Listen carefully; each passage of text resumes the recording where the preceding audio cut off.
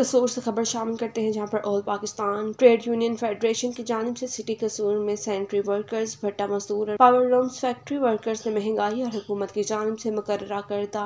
इजरत न मिलने पर मस्जिद नोर सिटी कसूर से टी एम ए हॉल तक एहतजाजी रैली निकाली और फिर टी एम ए हॉल में मुनदा मजदूर सेमिनार, जिसमें नदीम अख्तर, डायरेक्टर लेबर ने बतौर मेहमान खसूसी शिरकत की मुकर्रीन जिनमें बाबा लतीफ़ चेयरमैन, लेबर कौमी मूवमेंट, नुसरत बशीर एडवोकेट मजदूर रहनमा मुर्तज़ा बाजवा, गुलाम हैदर जोया महतरमा शहनाज, बाबा एम सरवर, मियाँ हामिद मुख्तार, सियासी समाजी रहनमा अक्रम माइकल, एडवोकेट रहनमा भट्टा मजदूर, नज़ीर बूटा सदर अमला सफ़ाई वर्कर्स यूनियन, एम सी कसूर, परवेज शाकर, सियासी समाजी रहनमा चेयरमैन अमला सफ़ाई वर्कर्स यूनियन कसूर, अशरफ माइकल, डिस्ट्रिक्ट मेंबर इंसानी हकूक committee Kasur, Zulfiqar Ali general secretary trade union Kasur और सादिक गिल, सदर वर्कर्स, क्लिन वर्कर्स, फेडरेशन कसूर ने गजट नोटिफिकेशन के मुताबिक अजरत social security card E O B I card फैक्ट्रियों में ठेकेदारी, निज़ाम के खात्मे और कसूर में लेबर कॉलोनी और सोशल सिक्योरिटी अस्पताल के क्याम का मुतालबा किया। डायरेक्टर लेबर नदीम अख्तर ने